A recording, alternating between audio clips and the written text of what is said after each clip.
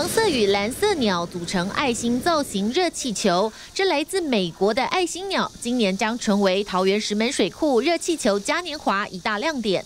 从这个周六开始，一连九天，每天清晨与傍晚期间限定提供热气球升空体验。今年也有很多发展的特色，好，包括有飞行船从北苑飞到南苑，那有钢铁擂台，好，鼓励大家来。这个报名健身体验，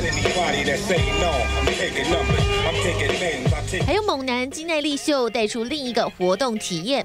今年的石门水库将化身钢铁擂台，一个个关卡让大家来挑战金耐力，成为钢铁王，还有奖金拿。这一次的热气球嘉年华，我们是希望将来大家能够认识石门水库的生态之美。虽然空域空间不大但是我想哈，这个浪漫气氛是一样的。石门水库热气球嘉年华迈入第三年，精彩活动从地上到天上。白天有壮观热气球可以欣赏，还能走进气球博物馆，一窥热气球的奥秘。到了晚上，更有热气球光雕喷火秀，从早到晚都很好看。记者桃园综合报道。